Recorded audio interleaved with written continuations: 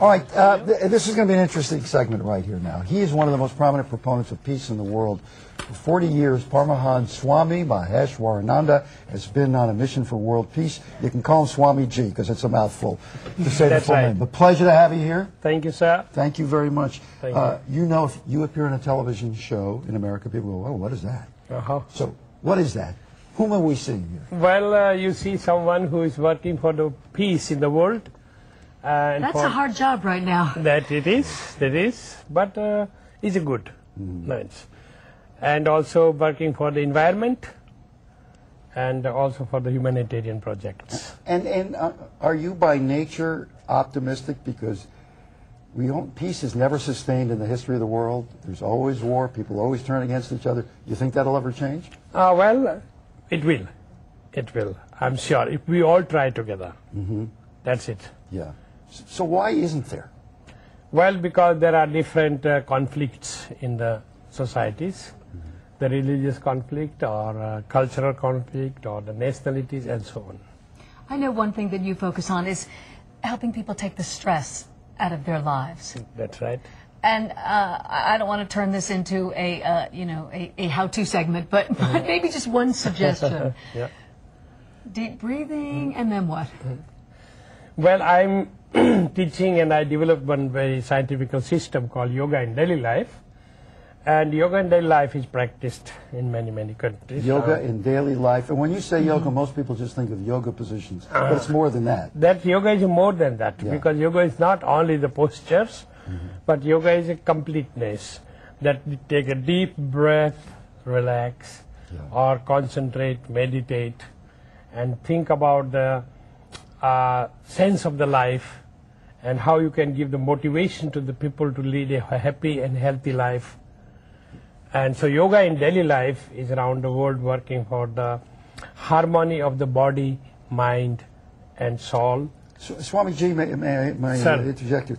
Uh, uh, my observations of life, having been around a while, is it's not the events that happen in life. It's how you it's react you. to them. It's you. Yeah. It's how you deal with them and how you create them and how you deal with them. That's right. That's right. Because it is a, the peace is within thyself, mm-hmm. How do you find it? and that's true. That's why I'm here to give them the inner peace, to find it through meditation, through the yoga, and the inner peace for the world peace, and the peace begins from own heart. The charity begins from own home. We have to make the first step to come closer to others and give the hands to others and offer them something. And Swamiji, you're here for an appearance actually you're making with the mayor today. What tell us about that? What will you Yep, be bring him some peace, please. Okay, that I will do my best. And best. Steve, while you're and at it. that's thank you, sir. you reminded me. I'm here to bring them peace and good ideas and the blessings, all of uh, what we need very much, the divine blessing of the Supreme One. And I will be ringing the peace bell today, and also I will be planting a peace tree in Los Angeles.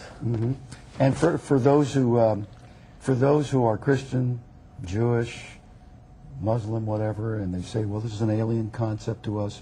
We're a little afraid of this stuff. Uh, we're not going to live the life that you talk about. You still have information for them as well. That's well. right, yes. Uh, the yoga is one of the most ancient system. And the principles of yoga is applied in every religions. Mm-hmm.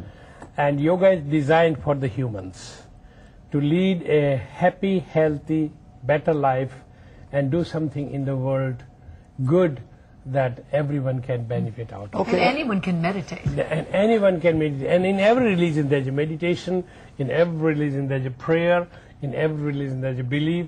So you must not change your religion. You should not change your belief. But you can change because you want to, would like to be happy. Within your religion. That's right. sir. Within your religion. Right. How do you Sir. start to meditate? Yeah, meditate. Just sit down and relax your body and concentrate on the breath. This is the right key. Okay, that Sounds easy, but you Concentrate on your know. breath. Okay. Especially when she's drinking.